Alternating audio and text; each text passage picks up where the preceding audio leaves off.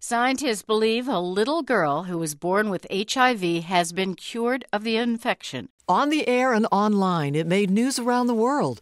Unveiled at a scientific conference in Atlanta, Georgia, the case would produce banner headlines.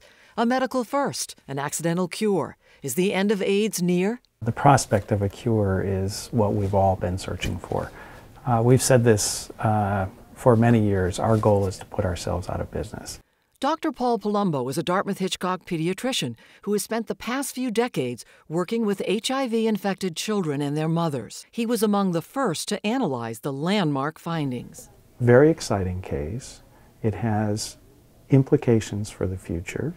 Uh, it shows us where we need to go in our near term research to try and replicate this and either prove or disprove uh, that a cure is possible very early in infection like this.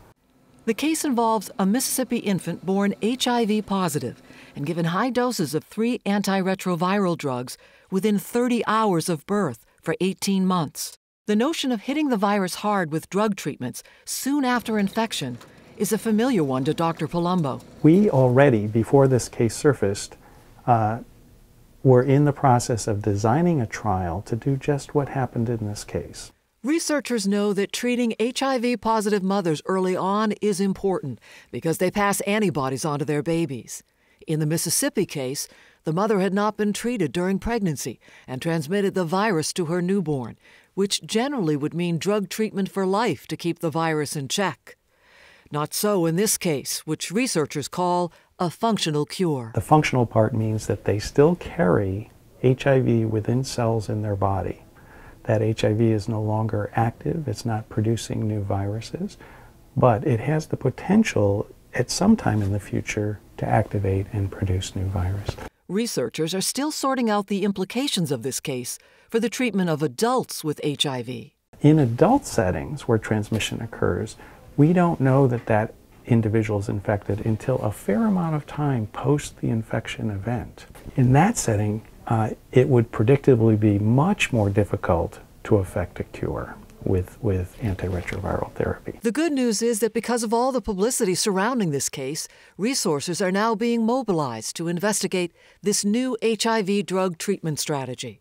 But there is a negative side as well. Some unrealistic expectations may have surfaced because of uh, the buzz that this single case has generated.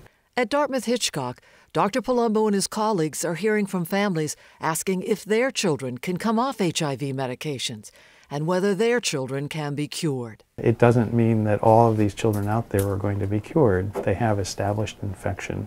Uh, they're not close to the time that they got infected any longer.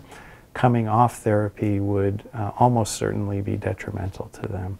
Uh, so we have to be very careful about the message that we transmit during this process. The UN estimates that 330,000 babies were newly infected in 2011, and that more than 3 million children globally are living with HIV. So the stakes are high. I don't want to uh, dampen enthusiasm. I think this was a, an incredible case. Uh, again, a single case that still needs um, um, uh, intense investigation but it does provide uh, significant hope to the field, uh, to HIV infected women, to children out there, and possibly even adults.